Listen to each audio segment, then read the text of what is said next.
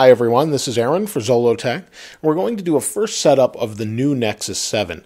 Google improved all these specs, and this is Android 4.3, so I thought I'd walk you through the first setup. Now, I can't increase the screen brightness any more than I have. I've kind of moved the light away so it's not directly on here until I can increase it a little bit later. So we've got the welcome screen. We can select a language. We'll select English, United States for me. We'll hit Next. Now it wants me to select Wi-Fi. This is my Wi-Fi and I'll put in the password. I have a very long Wi-Fi password, but I'll connect. Should take just a moment.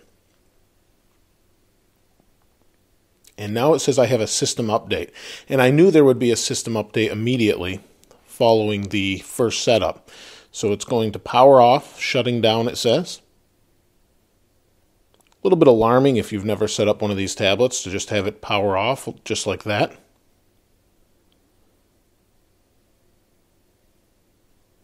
It'll reboot. At least it gave us a heads up that there was a system update. It's installing the system update. I was very impressed at how fast the new Nexus 7 boots up with that quad core Qualcomm Snapdragon S4 processor. It's incredibly fast, it seems. It's rebooting. We'll wait for it to boot up here. I believe there's two separate updates. You can see there's the little Nexus symbol.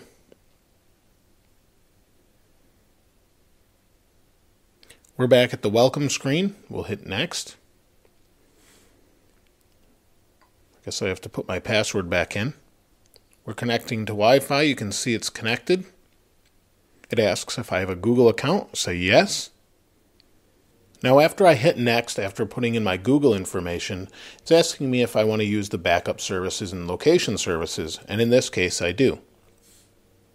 So I'll hit next. Next, it's going to restore my previous settings that I use on my Nexus 4 or different Android devices, and it's going to bring all that back to the tablet. I've got my name in there, and the setup is complete. So let's see if we can turn this up first. There, I've turned the brightness up. You can see it's quite bright. Have some stock things here that says this is your Google Play library. Go back home, recommended for you. I've got our app drawer here. This screen looks quite nice.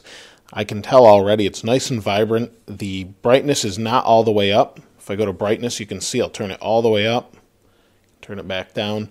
Overall, it looks really nice, but that's pretty much the first setup. You've got a couple different things you can do. Can just drag the app drawer or the drawer down for notifications. And then we've got our apps down here. So I'll be using this for the next few days before I do a full review. And I'll be doing some other videos as well. But if you have any questions or comments regarding the new Nexus 7, please place those in the comments below. If you haven't subscribed already, please subscribe. As always, thanks for watching. This is Aaron. I'll see you next time.